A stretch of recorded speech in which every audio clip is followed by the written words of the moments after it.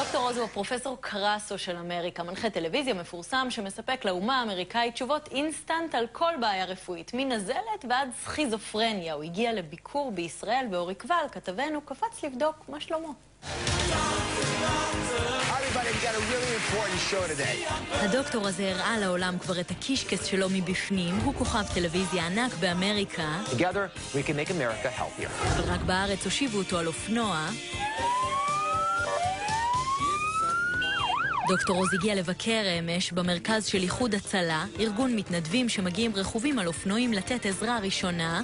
לא דתיים כמו זק"א, מהירים יותר ממד"א, אלפיים אנשי רפואה יהודים, ערבים, חילונים דתיים שרוכבים על האופנולנסים שלהם ומגיעים ראשונים לשטח. When you studied uh, medicine at Harvard, did you imagine that this is what you'll be doing? This is not what I thought I'd be doing at all, but it's fun. And I can say, watch this, watch this, this is the best.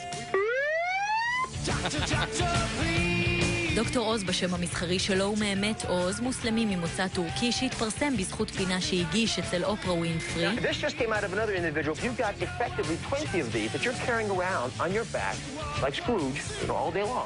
השיניים הצחורות, הבלורית ותשובות פשוטות לכל בעיה רפואית הפכו אותו לכוכב כמו שהאמריקאים אוהבים. יש לו עכשיו תוכנית בריאות משלו שמשודרת ב-118 מדינות. Become a TV star?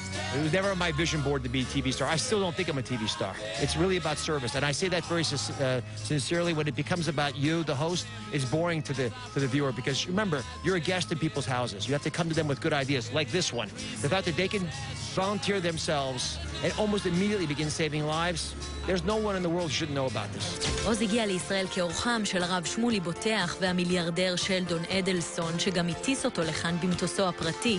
הוא יסייר כאן במשך שבוע, אם יש לכם איזושהי שאלה רפואית. Well, I've learned the Israelis like to laugh a lot. I've learned the Israelis like to work hard. I've learned the Israelis don't sleep a lot because they're not letting me sleep. But mostly... Not good for your health? Not good for your health, but most importantly, the Israelis know how to love.